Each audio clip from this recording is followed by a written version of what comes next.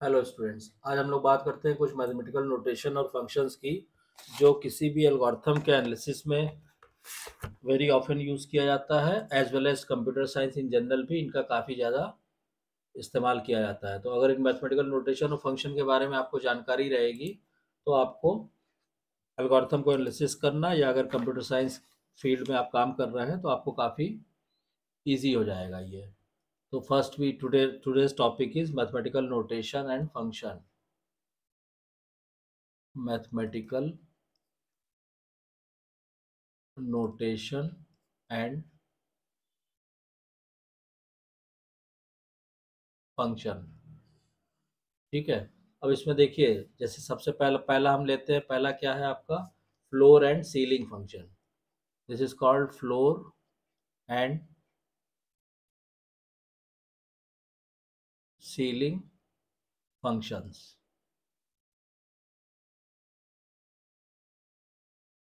इसमें क्या होता है कि let x be any real number then x lies between two integers called the floor and the ceiling of x तो अब इसमें क्या होता है कि जैसे एक्स अगर कोई रियल नंबर है तो अगर हम इस तरह लिखेंगे एक्स ये। तो ये क्या कहलाता है? This this is called floor of the x floor of x it denotes the greatest integer that does not exceed x. It denotes greatest integer that does not exceed x. और जब आप इस तरह दिखाएँगे, ये हो जाएगा this is called ceiling of x this is called ceiling of x and it denotes the least integer that is not less than x इसका मतलब क्या हुआ कि इसका मतलब ये हुआ कि जो फ्लोर ऑफ़ एक्स है, ये ये किसको इंडिकेट करेगा? फ्लोर ऑफ़ एक्स इंडिकेट करेगा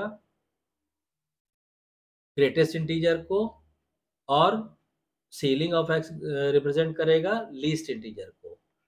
तो अगर मान लीजिए, अगर हमने कहा कि say if x is itself अगर x क्या है, वो खुद ही एक integer if x is itself an integer ठीक है? तो उस केस में क्या होगा कि जो फ्लोर है, वो उसी इंटीजर को शो करेगा तो इसको आप सिंपली फ्लोर और सीलिंग दोनों ही इक्वल होंगे और दोनों किसको शो करेंगे? एक्स को। ठीक है? तो ये होता है जैसे फॉर एग्ज़ाम्पल हमने कहा, से यहाँ पे हम कुछ एग्ज़ाम्पल ले लेते हैं। मान लीजिए हमने कहा कि इसका हमें फ्लोर दिखाना है 3.14 का 3.14 का तो इसका जो फ्लोर हो जाएगा, वो हो जाएगा थ्री या हमने कहा कि मान लीजिए हमें under root five under root five का हमें फ्लोर दिखाना है तो under root five value two point something होती है तो इसका फ्लोर हो गया टू ठीक है? सिमिलरली अगर मान लीजिए निगेटिव नंबर हमने लिया माइनस का एट पॉइंट फाइव तो इसका जो फ्लोर हो जाएगा, वो हो जाएगा माइनस का नाइन और अगर ये इंटीजर है से सेवन तो इसका इसका जो फ्लोर हो जाएगा, वो हो जाएगा आपका सेवन तो मेन जो पर्पस होता है फ्लोर को रिप्रेजेंट करने का, वो ये होता है, ठीक? इसी तरह अगर हम सीलिंग को दिखाएँगे तो मान लीजिए हमने कहा कि 3.14 इसकी जो सीलिंग आएगी, इसकी सीलिंग आएगी फोर अंडर रूट फाइव की सीलिंग की हम बात करेंगे अंडर रूट फाइव इसकी सीलिंग हो जाएगी थ्री ऐसे हमने माइनस एट पॉइंट फाइव की सीलिंग की बात करेंगे माइनस का एट पॉइंट फाइव ये हो जाएगा आपका माइनस एट और सिमिलरली अगर हम इंटीजर की बात करेंगे सेवन तो ये आएगा आपका सेवन अगर यानी एक्स क्या है? इंटीजर है तो फ्लोर और सीलिंग दोनों इक्वल होंगे, वो इस एग्ज़ाम्पल से भी आपको क्लियर हो गया। ठीक? अब दूसरे तरह के फ़ंक्शन की हम लोग बात करते हैं second type of function that is called remainder function तो देखिए रिमाइंडर फ़ंक्शन क्या होता है? या मॉडुलस अर्थमेटिक भी कह लीजिए इसको तो सेकेंड हो गया आपका रिमाइंडर फ़ंक्शन रिमाइंडर फ़ंक्शन में क्या होता है कि let k be any integer and let m be a positive integer then k mod of m ठीक है will denote the integer remainder when k is divided by m तो मान लीजिए हमने क्या कहा? हमने कहा के अगर कोई इंटीजर है, ठीक है? और m क्या है? Let m is a positive integer ठीक? तो ये फ़ंक्शन जो डिफाइन होगा, ये k मॉड m, ये क्या करेगा? ये उस रिमाइंडर की वैल्यू देगा जब when k is divided by m. यानी इस चीज़ को आप लिख सकते हैं के इज़ इक्वल टू हो जाएगा m q plus r where जो रिमाइंडर की वैल्यू है, वो आपकी ज़ीरो से एम के बीच में कोई भी वैल्यू हो सकती है।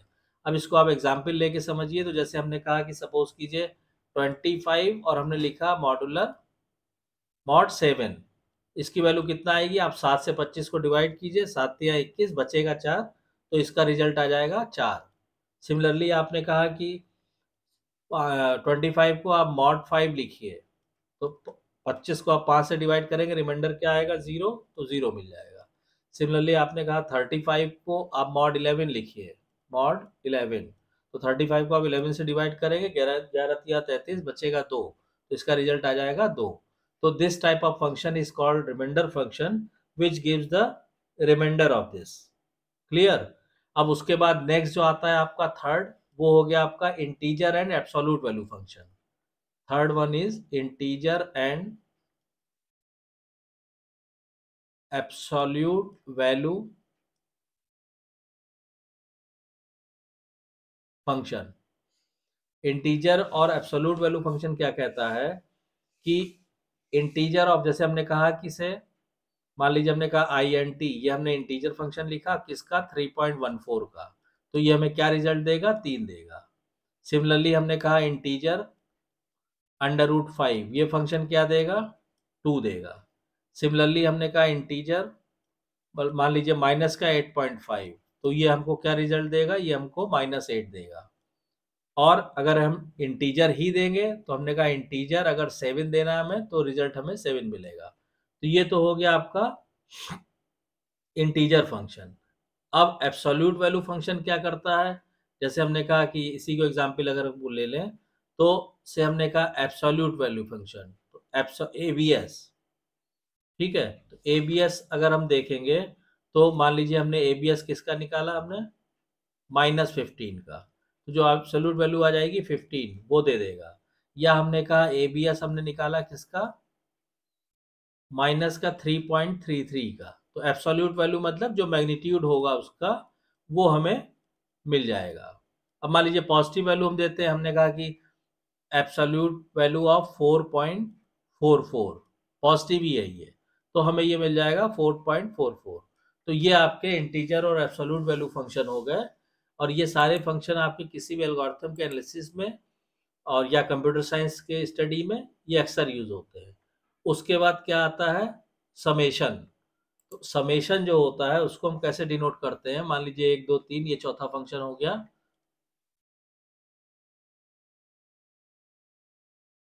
समेशन। समेशन में क्या होता है कि सिंपली अगर मान लीजिए हमारे पास कोई सीरीज़ है a plus a one plus a two plus a three up to a n ठीक है? तो इसको हम कैसे रिप्रेजेंट कर सकते हैं? इसको हम रिप्रेजेंट कर देंगे ऐसे समेशन साइन लगाएँगे। कोई हमने वेरिएबल लिया से जे इक्वल टू वन से एन तक और इसको हम लिख देंगे ए जे तो सॉरी ये फ़ंक्शन आपका कहलाएगा समेशन फ़ंक्शन अब मान लीजिए ये सीरीज़ हमारी शुरू हो रही है a m plus a m plus one और अप टू ये जा रही है कहाँ तक? ए एन तक। तो इसको अगर हमें रिप्रेजेंट करना होगा तो हम यहाँ पे केवल जे को एम से स्टार्ट कर देंगे, बाकी सब कुछ ऐसे ही रहेगा। तो ये फ़ंक्शन जो है, ये समेशन फ़ंक्शन कहलाता है। उसके बाद एक और फ़ंक्शन जो फ्रिक्वेंटली यूज़ होता है कंप्यूटर साइंस में या एल्गोरिथम के एनालिसिस में, वो होता है आपका फैक्टोरियल फ़ंक्शन तो अभी दो तीन फ़ंक्शन आपके इसमें रह गए हैं जो जनरली यूज़ होने वाले फ़ंक्शन है। एक आपका फैक्टोरियल फ़ंक्शन दूसरा है आपका परमुटेशन तीसरा है आपका एक्सपोन एक्सपोनेंट एंड लॉगर्थमिक्स इसको हम लोग नेक्स्ट वीडियो लेक्चर में डिस्कस करते हैं, क्योंकि ये लेक्चर काफ़ी लेंदी हो जाएगा।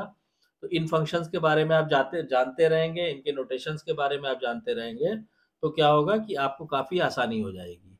अब इसमें ये जो हमने समेशन फ़ंक्शन डिफाइन किया है इसमें जो जे है इस जे को क्या बोलते हैं? J is generally called dummy index this is called dummy index या कहीं आप इसको डमी इंडेक्स भी बोल सकते हैं, या आप इसको डमी वेरिएबल भी बोला जाता है, ठीक? और other letter can also be use for dummy variable such as तो केवल जे ही ज़रूरी नहीं है, आप आई है स्मॉल के है एस है टी है, ये सब डमी वेरिएबल के लिए आप इन स्मॉल लेटर्स का यूज़ कर सकते हैं। तो आई होप आपको ये क्लियर हो गया होगा। अगर कोई डाउट या कन्फ्यूज़न है तो कमेंट लाइन में कमेंट करके पूछिए। और अगर वीडियो कंटेंट पसंद आ रहा है तो वीडियो को शेयर कीजिए लाइक कीजिए चैनल को सब्सक्राइब कीजिए और नोटिफिकेशन बेल को ऑन कर दीजिए ताकि नेक्स्ट वीडियो की इन्फॉर्मेशन आपको तुरंत मिल सके। Thank you